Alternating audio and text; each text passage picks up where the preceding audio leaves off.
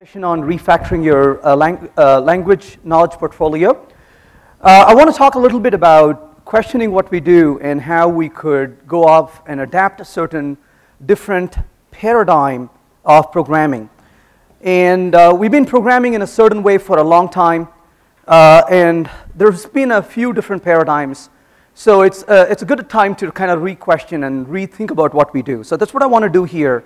Um, let's talk a little, little bit about you know, where we are and what we do. Uh, we, uh, we work in a very um, exciting field. And if I kind of reflect back in my own, to my own life and what I've done over the years, uh, I started uh, programming when I was in uh, school. And of course, I wanted to be an engineer. And I really got drawn into a computer science uh, and computer science and engineering. I, I, went on to do a, a I got a, a, BS in computer engineering. I went on to do a electrical engineering uh, master's, but then I kind of came back into uh, get a PhD in computer science. So a lot of my work in the initial phase was definitely drawn towards science and engineering. But a good a few decades later, I am still a programmer. And the reason I'm a programmer uh, is really a little different now. So if I want to kind of reflect back on my time, the science in programming is what drew me in, but it's actually the art in programming that actually kept me in. And the more I program, the more I work with software systems, I realize that it's a form of expression as much as, yes, it is engineering, it is science, and that's kind of what really excites me, the, the art format of it more than the engineering format of it, even though that part is still important. And as, as we work through this, I want to kind of uh, reflect back on this quote. Uh, it says, I want to stay as close to the edge as, as I can without going over. Out on the edge, you see all kinds of things you cannot see from the center. And I can relate to this very well on two fronts. Uh, one, of my, uh, one of the things I do when I go home, mostly, is I go mountain hiking. I live in, near Boulder, Colorado. And I have uh, little boys. My little boy started hiking uh, when he was four years old. And he can hike for about nearly 11 hours. He's the, he's the most uh, avid uh, hiker that I know personally. And he can do a lot of hiking. And, and one of the beautiful things about going up the mountain after struggling up there is the, the view that you enjoy when you're on the edge. And the other edge I'm talking about, of course, is programming. And I want to push the edges and do stuff, and I want to always try something different than what I had done before or I'm used to. And out on the edge, you can see things that you cannot quite see when you are confined with the environment that we normally work in. But programming itself, as we know, is a very nascent field. We have been doing this for a good about, what, 40, 50, 60 years, depending on how you give or take. So it's a very nascent field compared to other things we have done as human beings medicine, you know, uh, building constructions and stuff like that, right? So very nascent field. So I want you to think about this for a minute. Imagine I want to buy a car. And I'm going to ask you, what kind of car do you recommend that I buy? And of course, I want to be a bit cautious about environment, right? I don't want to burn up gas and pollute the environment more. So you probably would say, Venkat, why don't you consider an electric car? That's reasonable, right? So I go buy an electric car. But of course, if I buy an electric car, I need to charge my electric car, isn't it? Yeah, absolutely. So I buy electric car because you told me to. You go tell other people to buy an electric car. Bunch of people buy electric cars. Then what do we need? We need a station to charge those electric cars, don't we? That's a great idea. So we would have something like this, isn't it? And we would start charging these electric cars. And then now you would need stations and stations where you would have to have electric cars, isn't it? Seems reasonable. So we would have to build these stations of electric car charging stations.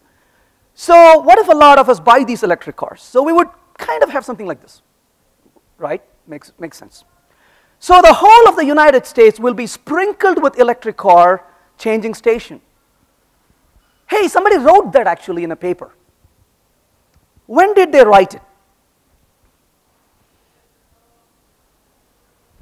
In 1899. Now, wait a second, wait a second. That's a misprint, Venkat. Did you mean 1999? Even that is early. No, 1899. What? We're just about getting excited about electric cars. Well, most cars on the streets were electric cars back then. They didn't have gasoline powered cars back then. They had electric cars back then. And there was a few problems with the electric cars. It took effort to charge them, and they wouldn't go too fast. And they had other problems with it. The other cars that roamed the streets were steam cars. Steam cars, what's the problem with that? It took forever to heat them up. Honey, do you want to go shopping? Oh, maybe in two hours. Right? We got to heat up this particular car, right? So eventually they found gasoline cars, and, and of course, the technology, Volkswagen and Ford, all those people came about, and they said, let's go mass produce these cars. And slowly, as time, time went by, we forgot about electric cars until now we are all excited about, and hey, look, we can build electric cars. Well, in our field, we are going through something very similar. So back in time, steam-powered cars and electric cars were the norm, and then we kind of forgot all about it, and gasoline powered cars were really popular until now, again, we are interested in electric cars. And I see this exactly happening in our field, except we're not dealing with electric cars. This is an evolutionary phase. It turns out in our field, what was really up there was functional programming and structured programming. This is way back in time. And then came along object oriented programming. Does anybody remember the year when OOP was introduced? Don't worry about being wrong. Um, I'm wrong most of the time myself. Just throw a number at me. Don't say 18, please. What is it? 87, 87, 87. In the 40s? No, no, he was, he's not that old. in 1967. You are making him a grandfather, that's what I'm saying, right? All right, what year you're saying? 67. I'm not going to have a debate with you here. How about that? She doesn't get, she, she, she refuses. I don't want to have a debate. It's okay. Whatever year you say is good enough for me. Yeah. So it was a long time ago, right? 1967, according to what I know, she can have another year, that's fine. I'm not going to argue with her. So basically, the idea really is it was in 1960s or whatever it is. And then came along what? 1987 is when we are like, whoa, this is awesome. But even then, right, the Smalltalkers were really doing OOP. But what about the rest of us doing C programming, structured programming? What changed the world? C++. Because overnight, you didn't have to do anything, but you were OOP programmers. This is awesome. How great is that? You go home as a structured programmer one day, you came back the next morning as OO programmer. What did you do differently? I used to work for a very fine guy. He said, Venkat, we're going to interview you, but we want to make sure you understand what you're getting into before you get into this job. I said, what is it? Well, my team will tell you you're going to be programming an object-oriented system. Uh, yeah. Well, once you join the company, you will notice that we are programming with C++. It's like, yeah.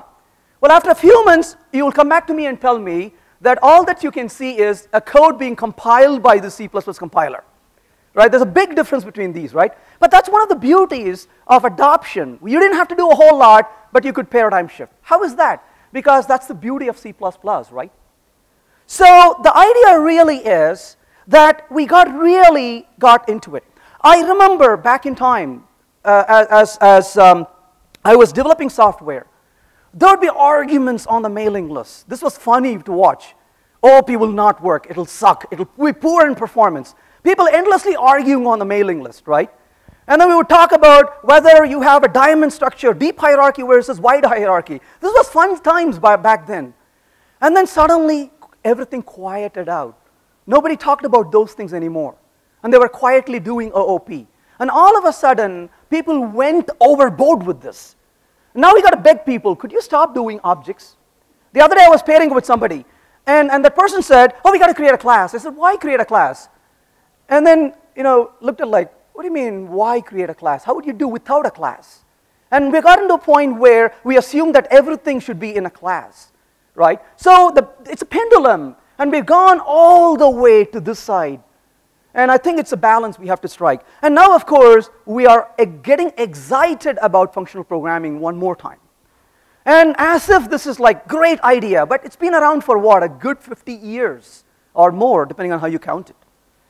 So let's focus on Java just for a little bit. Java, of course, I'm, I'm really speaking about Java 7 and before, not referring to Java 8 here.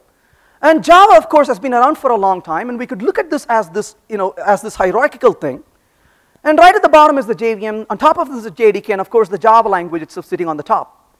And of course, we have told that Java is simple, but really, is it simple? It's more simpler than C++, right?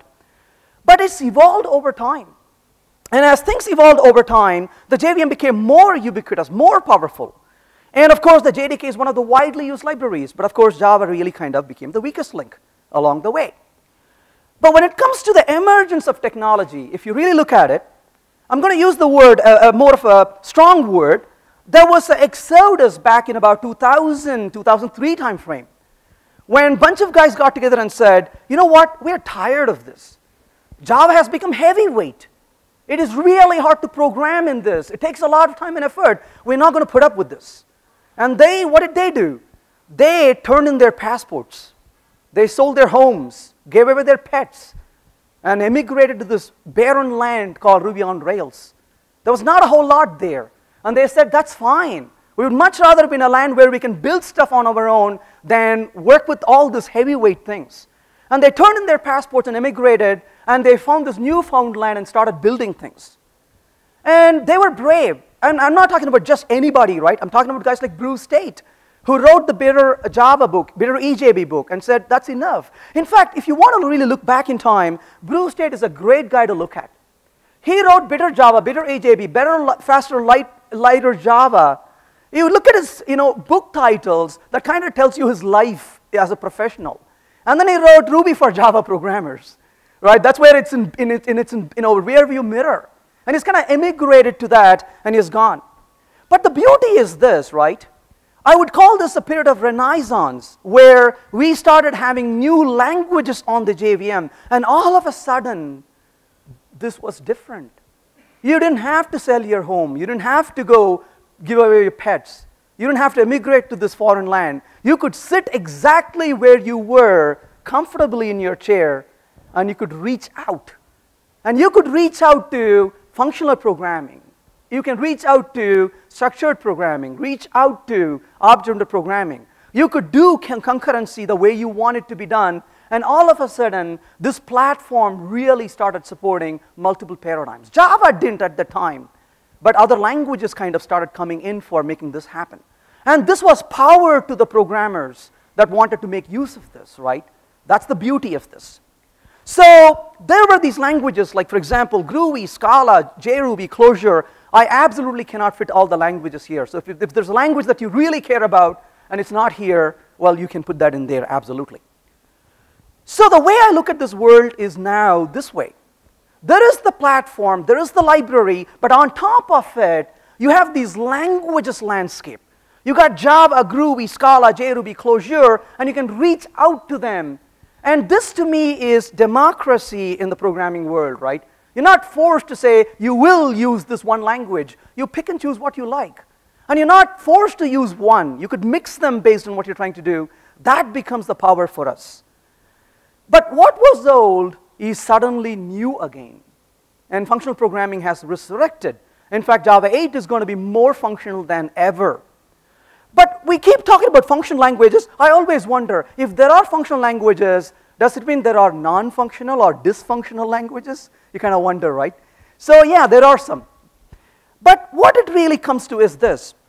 When I introduce programmers to languages, one of the things they immediately talk about is, I don't like that syntax. Or I like that syntax.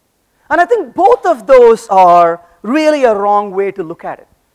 And the reason is, a syntax only plays a very small part. You know, I struggle, but I can comfortably program in maybe about eight languages, and maybe a little bit more. everybody could be looking at the same code. We all react to it differently.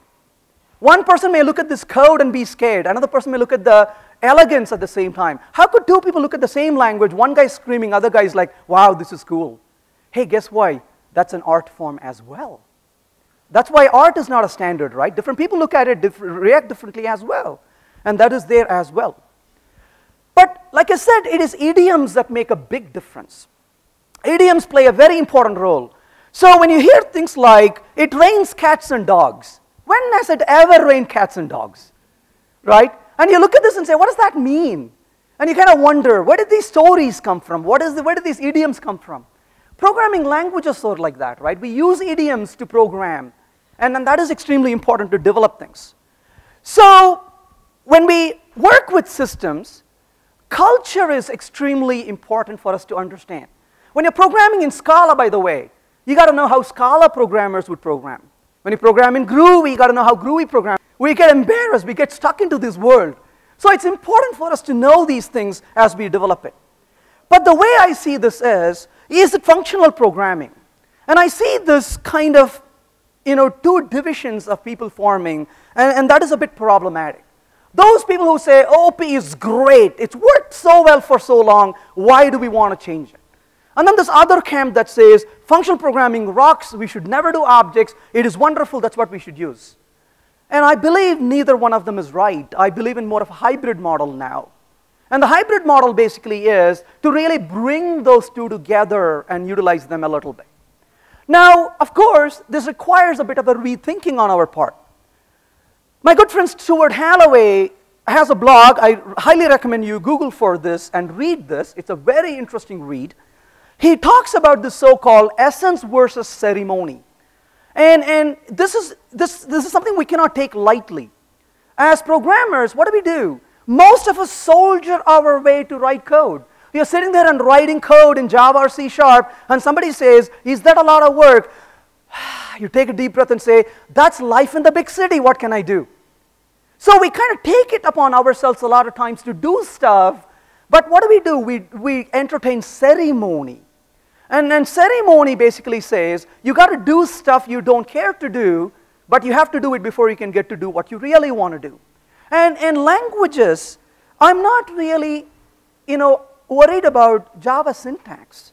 When I say we got to look at other languages, I'm not worried about Java syntax. I'm fine with Java syntax. Java syntax doesn't hurt me. It is a ceremony that languages like Java can impose which Java 8 is really trying hard to at least fix partially, if not fully, right? And that is what really damps us. And, and, and Stuart Halloway talks about how a high ceremony code damps us twice. It takes more effort to create this code, but it also takes more effort to maintain such a code. It becomes really hard and it becomes a burden. And, and those programmers who realize this burden really try to flee from this and saying, I want something else. And those who don't realize this burden, become the frog in a boiling pot. You know the story of the frog in the boiling pot, right? There's a, there's a water, they put frog in it, it's happy. They turn up the heat, and the frog, frog doesn't even know because the heat is slowly increasing until one point it gets boiled. And we do that sometimes because we've been doing that only that. We don't even know that the ceremony has just come around us, it's grown around us, right? And we don't have the sense to realize that this has heated up too much. That is very dangerous. How do we solve that problem? Go out. program with somebody who doesn't work in your company. Right? Have a group meeting. User groups are extremely important. Form a code retreat and, and, and have them challenge you. Look at some other piece of code than you have been working with and see how it bends your mind. And, and that can show us different ways. You don't have to accept it. Uh, I think it was Aristotle who said it's a sign of an educated mind to entertain a thought an idea without accepting it. What a, what a great thought. You don't have to accept somebody's idea when you listen to them, right? We're not saying, you agree, sign here in blood. Entertain the thought. Just receive it in and say, what does that mean? How would it feel? It's a sign of an educated mind to entertain a thought, an idea, without having to accept it. Then you can come back and say, does this make sense? Do I want to make the change? Do I want to adapt it? Now, think about some of these things. This is the dolly, the, the, uh, the, the, little uh, you know, sheep that was cloned. Well, cloning. Let's talk about cloning for a minute, right? We all know what cloning is. How would you do cloning in Java for a minute? So I want to clone. What, what did Java do? Java said, hey, you know what? C++ is horrible. We're going to make Java simpler. Well, what is problem with C++? Once again, problem with C++ was not the syntax. Problem with C++ was things that you have to know. And if you don't know, what will C++ do? You forgot to write a copy constructor. Will the compiler give you an error? Any C++ programmers here? A few of us, right? Would C++ give you an error if you forget a copy, copy constructor? No. What will it do? Potentially make a shallow copy. What will it do if you take a, a, a, particular data or an object and cast it to a wrong type? What will, what will it do? Will it give you a compilation error? No. What does it do? right? That's the international symbol for I don't know, right? This is the beauty, right? You, if you are a C++ programmer, or look at C++ programmers, they get up in the morning and they are eager to go to work. You ask them, what is, why are you so eager to go to work? Because they say, I want to know what the code does today. Because I don't have a clue, right? It is totally unpredictable. I don't know what it's going to do, right? That's what bogs you down in this language, unpredictability. You're like, damn, how did that code do that? And you got to go back and fix it. So Java said, no more copy constructors for you. Yay, that's great. But I want to make a copy of an object. How do I do that? Well, you got to implement a clone method. All right, we'll do that. So public, and I'm going to say object, obviously, clone. And I want to clone this. But in this case, I could say return. And I could return, maybe return member-wise clone, right? So member-wise clone. Uh, or whatever you want to return, right? You could do that, member-wise clone. What's going to happen when you try to compile this code? You will get a compilation error, right? Uh, what does it say? Actually, in this case, I'll just say return null for a minute. Who cares what I return at this moment? I'm going to return that. What does it say? It is going to tell you, well, obviously you can't do this. You got to implement cloneable. So there's a structure to this. Yay, that's great. So I'm going to implement cloneable. Uh, implements cloneable, right? All right, great, we can do that. And what does it tell you now when you try to implement cloneable? It is going to say, uh, excuse me, but you need to handle the exception. What exception do I have to handle? Clone not supported exception. You say, uh, but, but, but I am supporting clone. And Java says, but you have to handle the exception called clone not supported exception. The minute I put member-wise clone there, it'll say, you got to handle clone not supported exception. But I am doing it. And you, and you find yourselves one afternoon arguing with the Java compiler. Now you know you have hit the lowest point of programming, right? You should never argue with the compiler, right? Then at some point you realize no longer is the compiler working for you, now you're working for the compiler. And you're saying, okay, fine, fine, fine. Let me know what, what you want. I'll get this done. But Java programmers are clever. They said, fine, if you want that, I will invent an IDE to solve that problem. Then comes Eclipse rolling in. Now you don't have to do any of these, right? You write the code, it does all the stupid things for you. So this is where you can see how the ceremony comes to damn us, right? And you finish all of this and you say, what did I spend the last 15 minutes doing? Oh, I was working for the compiler. Now I can do my own work, right? There is absolutely no reason to do this, right? But yet we face this problem quite often in what we try to do. I want to do file operation. How do you do that? Again, this is when again, the exception handling comes to us, the API comes to us, and it can really slow us down. But I want to think about, want you to think about something else. This is something I did not realize for a long time. There are statements and there are expressions. You see, I've been programming in C++, Java, C Sharp. I didn't even know that this distinction really exists in that regard. Then I started programming in language like Ruby. And language like Ruby doesn't have statements. And what does it mean? I want you to just think about this. Close your eyes for a minute and think about it. And tell yourself the word statement. How do you feel? Grim, right? You feel like you're standing in front of a dictator, right? It's a statement given to you. Now say the word expression. Ah, feels relaxing. She's smiling now. See that? That is the beauty of expression. Expressions make you feel good. Now, I was talking about mutability, right? Mutability is evil, especially shared mutability is evil. We want to avoid mutability. Now think about this for a minute. I want to write a if statement. What do you do with the if statement? I say, hey, I want to come into this block of code, and, and within this block of code, I want to say in here, do some work for me. So what am I going to do? If something, right? And then do something. Something happens here. But this is an if statement. So what does a statement do? Statement says, I will do stuff. Thank you, statement. What did you do? I won't tell you. But, but, but, I need to know what you did. Well, I did something, and I put it over there. You can go get it yourself.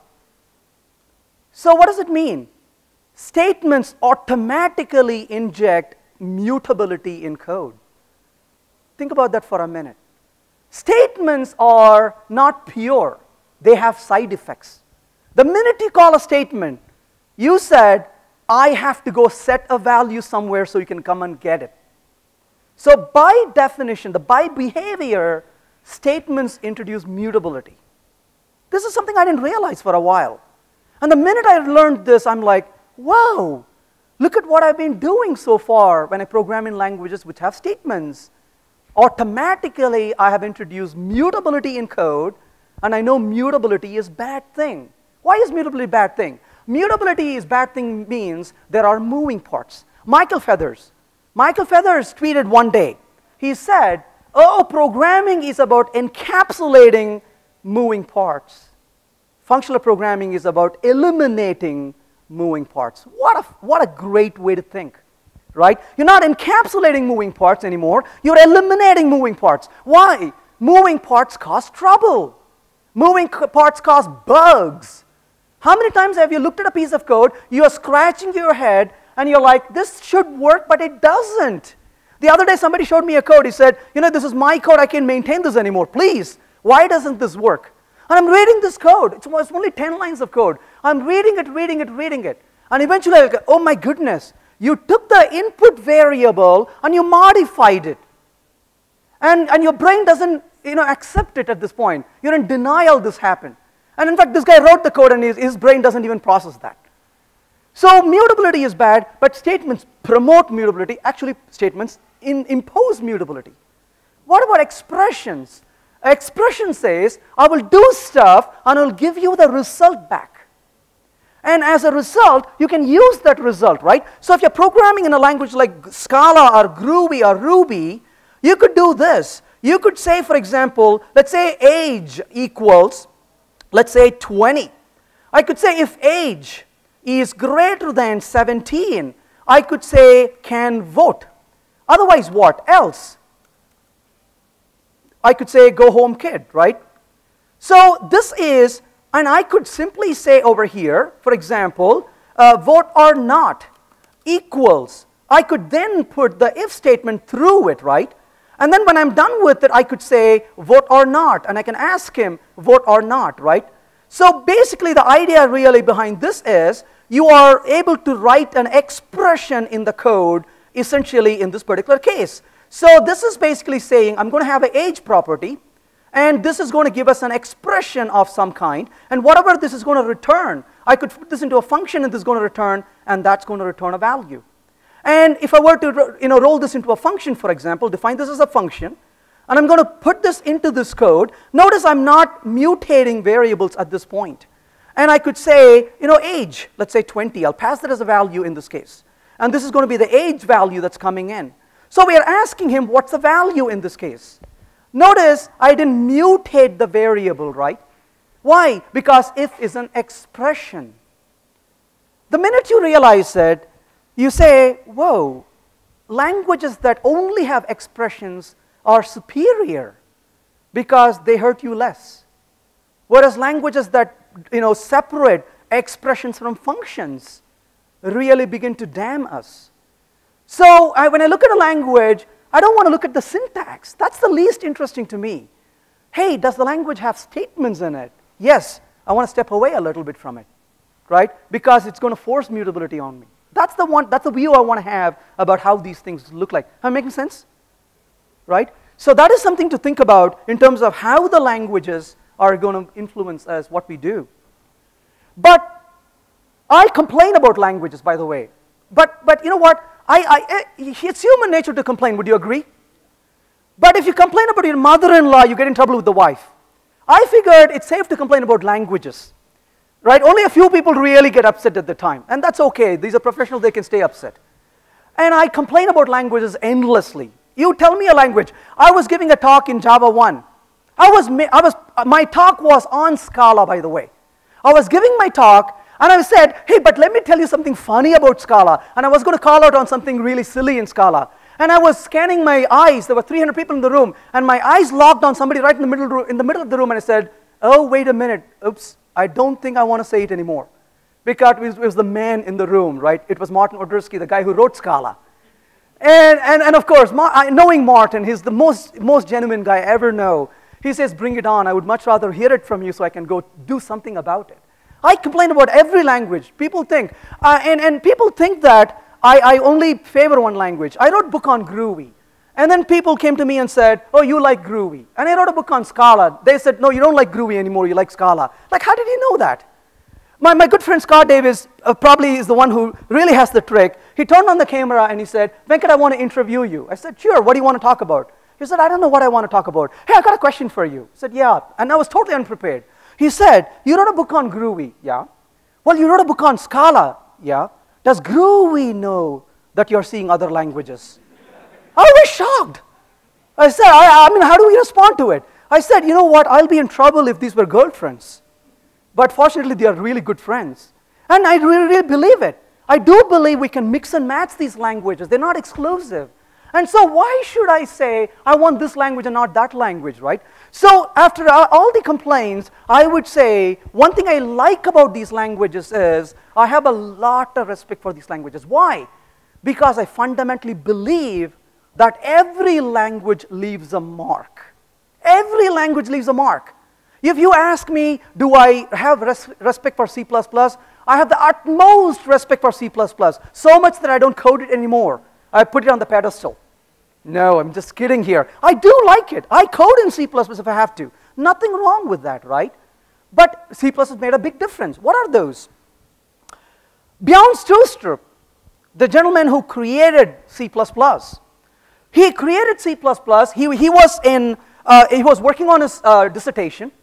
And he was trying to program his highly concurrent application. And he found out that it was very hard for him to do this. And so he tried to program in Simula. And it was really slow. It was so slow, he was scared that he would never be able to graduate because the program would not complete on time. Then he wrote it in a C-like language. Boy, it ran, ran fast. But it was all buggy and all that. Once he graduated, went to AT&T Labs, and they said, why don't you sit back here and think about what you want to do? And he said, wouldn't it be so cool if I can have a language that was fast and furious and provided OO paradigm? You see, once you go back to the history of why things happen, then you are learning the culture of it. Now you no longer have the apathy to it. You are like, oh, I see why you had done this. When C++ was coming out, Performance was a big concern. They didn't need a OO language. Smalltalk was there for that, right? Other languages were there for that. But all the languages had one thing in common. They were slow. If you study the V table of C++, what a marvelous idea. Your dynamic, your, your polymorphic calls were just two steps away in memory calls. What a great performance. And so C++ said, performance first, accuracy later. That was a design decision. And so if you don't mark a function virtual, it was not virtual. Why? Not because Bjarne, Bjarne didn't know what he was doing. It is because that performance overhead was not acceptable. Why? If you have ever programmed a 1980 processors, you would know that, right? It was slow.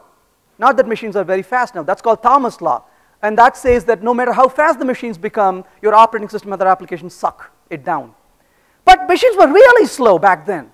And that was really hard. And so C++ was created. So a way to think about C++ is amazingly fast, but incredibly dangerous.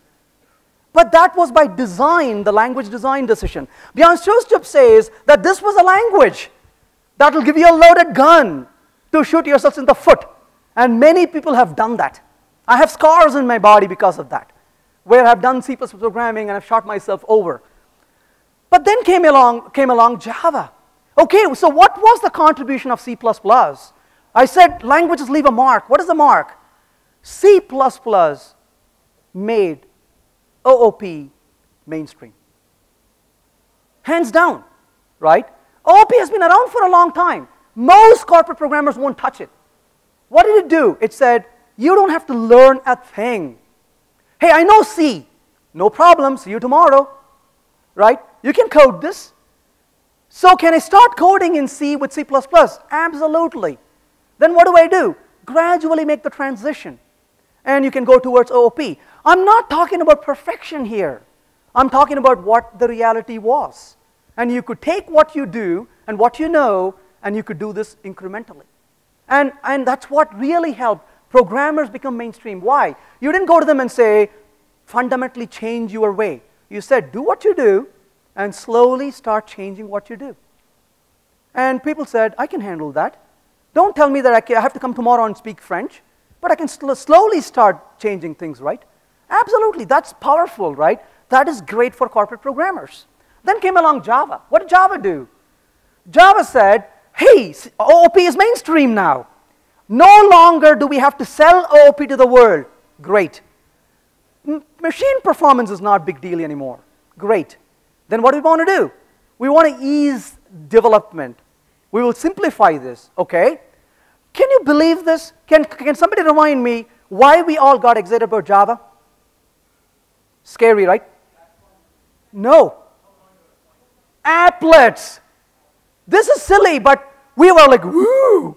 You could put applets on the browser. This is 1994 browsers. Browsers were new at the time, right? And what is shocking to me is we got infatuated with Java for client side. And where's the power of Java today? On the server side. Wow, what a difference. So what was Java's contribution? Intention was something, sure. But to me, the main thing that Java did was it brought garbage collection to the mainstream. Once again, OOP has been around for a long time. C++ was brought it to the mainstream. Garbage collection. Hey, which language had garbage collection? Lisp did. Decades ago, Java brought garbage collection to the mainstream. It said it's practical, we could do this. I remember sitting in corporate offices where they said Java would suck, it would never perform. Th those people said oh, OOP sucks, it will never perform a few years earlier. And look at what Java did. The virtual machine has just become vibrant. So it made garbage collection, automatic garbage collection, the mainstream. So the point I'm getting to is, I want to see languages differently. I don't go to a language and say, I hate you or I, lo I love you. To me, languages, I view them as what are called bridge languages. So what is a bridge language, in my opinion? A bridge language is a language that helps me cross the chasm. It is not a destination for me. It is a pathway towards something different, something better. Most of the coders today are using OOP not because they are programming C++, but they are doing it because there was C++ as the bridge. Today, you wouldn't really entertain a language which doesn't have automatic garbage collection. Even Objective-C does today. Why? Because Java did that bridging for us and said, you can have automatic garbage collection and fairly decent performance most of the time. So I view these as bridge languages. Bridge languages make us cross this chasm, the paradigm. And now we turn around and say, look where we are. But this doesn't mean we have arrived at the destination, but we have moved. We have changed, and we are moving forward, right?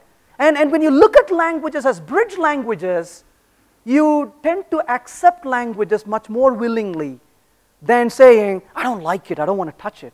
It's not a destination. You're not in bondage going into it, right? That, I think, is the power. So the new bridge languages on the JVM for me are JRuby, Groovy, Scala, Clojure. These are, but not all these are doing the same thing. That's the fun part of this. So they all share one thing in common, and that is they're all concise. They're all highly expressive and they're all functional style. That is one of the key things. So what does it mean? Well, the first thing is, in a functional programming, you got immutability. You have pure functions. What is a pure function? A pure function is a function that has no side effects. It has no side effects. What does it mean it has no side effects? It doesn't go, you know, mess with something around on the other side. Now you may say, why is it such a bad idea to mess with things? Well, you first know that the code you write is not the code that runs, right? The code you write is compiled into bytecode. But then that's only one compiler. Then comes the JIT compiler, the just-in-time compiler. That compiles it further. An enormous amount of optimization happens in the code. But for the compiler, the JIT compiler to optimize your code, what does it need? It says, i need to make sure this is correct. And if your program, if your code, if your expression, if your function is having side effects, the compiler says, whoa, this is pretty messy. I don't think I can rearrange and optimize this so easily. And it can do less optimization. On the other hand, if your function is pure, if your expressions are pure, it can relocate them based on what it feels fit. Now you say, all right, that's cool, but what benefit does it have for us? The functional programming paradigm really came from the you know, lambda calculus, but this has really, really huge benefits, if I could borrow this from you. So the idea is this. I've got expression 1 here on my hand. I've got expression 2 on my hand. Imagine these two expressions are independent of each other. They don't relate to each other in any ways. And what you have is you're taking the result of these two and doing some operation further down in the chain. If you're the compiler and you know that these two functions are pure, you say, hey, look, this is interesting. This is expression 1. This is expression, expression 2. I'm going to decide to run expression 1 first, and then I'm going to run expression 2. Is there a problem with that? Not at all. Or I say, hmm, there is actually a benefit in terms of whatever that I'm trying to optimize for, and I think I should run expression 2 first. And then, that was after all not so pure. And then run expression 2, right? Is there a problem? Not at all. The result is exactly the same. Or I'm the JIT compiler, right, just in time. I'm about to optimize this code. I look around and say, oh, wait a second, look what I found there are two cores in front of me. Why do I have to run them sequentially? I'm going to give this to core 1 and I'm going to give this to core 2 and run them concurrently. Did we lose anything? No, we gain performance. Look at the optimization the compiler can do, the JIT compiler can do when it knows that these are pure. What I just explained is called referential transparency. It can relocate things really well, and it gives us a real good performance, and we got all the benefits. But all that relies on one single thing, that the code is pure. So what does it mean pure? It's like a black box. You send something in, and it gives you something out. And while it's running, it doesn't sneak around and change some data elsewhere. While it's running, it doesn't pull data that keeps changing. Right? What is the benefit?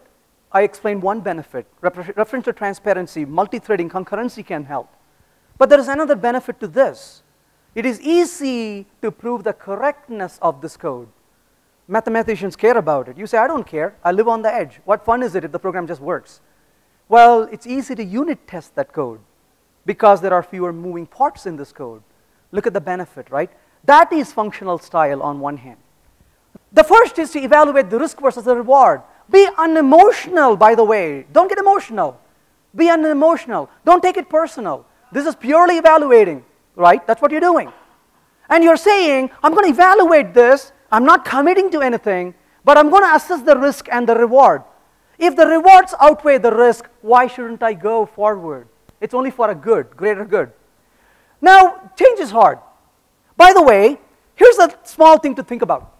Think about early 1900s. This, by the way, is Salt Lake City right here, and that, by the way, is Cheyenne, uh, uh, Wyoming. The only problem is right in between is the Rocky Mountains. Very difficult to cross.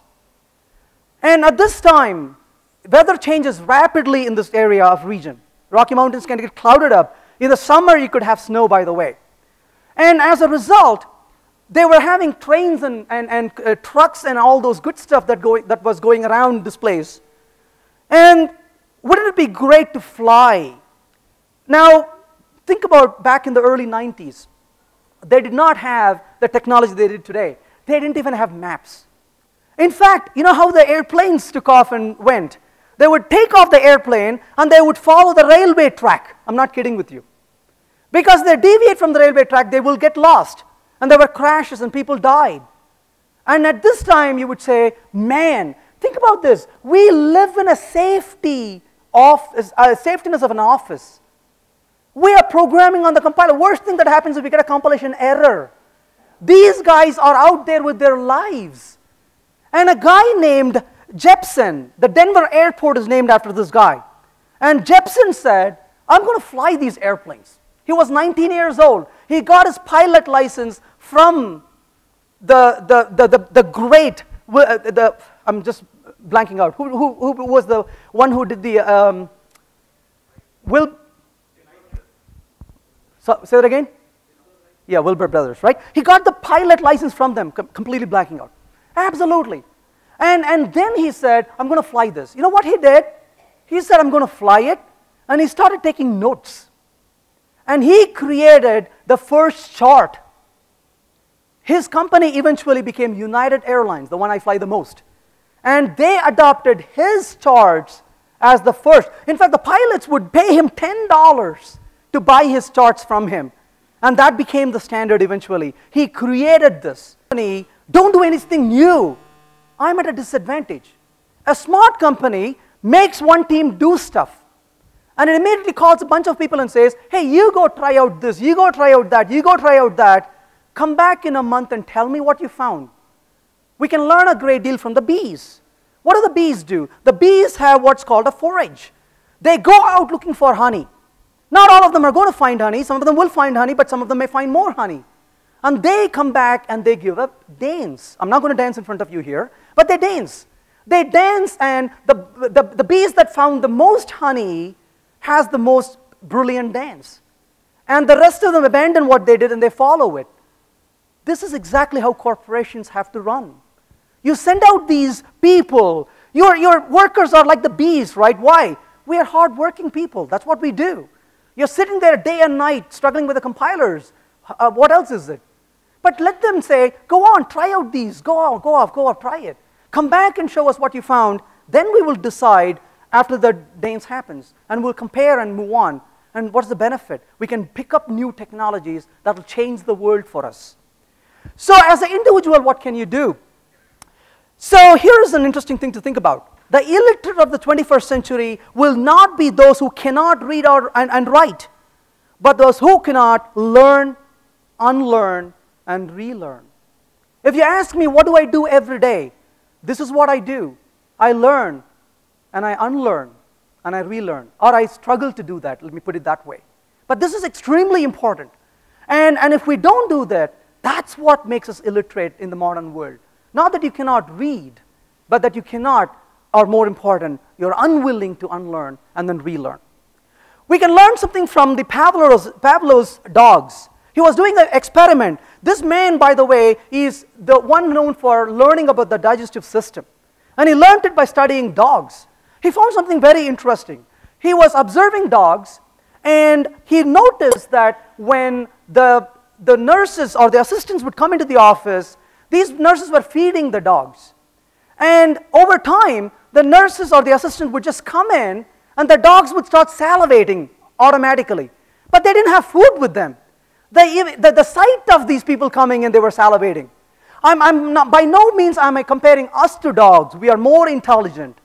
But we have that salivation, by the way. We like stuff. We like to play with things. So build the environment where you will reward people for salivating about trying new ideas, Look at the corporate culture we can build when we do that, right? The environment changes our behavior. Where do you work? What kind of office do you have? What's your environment? Do you geek out with your colleagues? That makes a difference. One thing we should definitely avoid is that, right? Where do you say, I don't want to talk to anybody, I don't want to look at anybody, I don't want to listen to anybody. I will sit there and code away. This is a problem for us because we don't learn. I, I love going to conferences. I go to user groups. I hang out with people. Why? I end up learning from you guys. I was out in the corridor this, this early this morning, and somebody said something. I said, wait a minute, I'm intrigued by what you're saying. I did not think about it that way. I want to go play with this a little bit more. There's osmosis, right? The only thing that will happen, the worst thing that will happen to us when we interact with people is we become better. That is the, that is the beauty of what we do. So go ahead and collaborate, find people, and, and, and, and, and you know, tell them, hey, what have you done recently? What are you playing with? Do you want to come over? You want to sit down? Maybe this evening we can pair up and program with something we both suck at, but we can get better at it by trying it together, right? And, and invite people to do that and see what happens. There are risks and costs to a program of action, but they are far less uh, in, uh, than the long range risk and cost of comfortable inaction. The worst thing we can do is not do anything. We are so worried. Oh, what if I fail? And this really bothers me. Why are we not trying new things? Oh, I don't want to fail. Look at a toddler. The toddler falls down a hundred times a day. When my children were toddlers, my wife and I agreed on something. When my children fall down, we'll pretend we didn't see. We'll kind of take a look at, make sure they're not bleeding, right? We'll pretend that we didn't see them. The first day the child falls down, looks up. If you make an eye contact, the child immediately cries. Oh, baby, did you fall down? Immediately, it cries even more. Not because of anything. It sees a six foot figure rushing towards it, scared to heck, right? Leave children alone. See what they do. They don't cry. My children never cried when they fell down, unless they were terribly hurt. They get up and they kind of rub off and they walk away. And then we become adults, and the minute we slip, we say, Oh my God, I'm embarrassed. I couldn't fail. Why should failure be such an embarrassment? It only means we are learning. So go ahead and try things. If they work, you learned. If they didn't work, you learn more. In fact, I get worried when things work because the days things don't work, at the end of eight hours, I come out and say, Boy, there were so many things I learned because it did not work.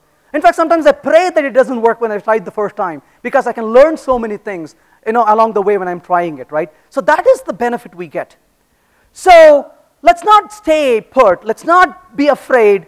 Let's go rock the world. Thank you.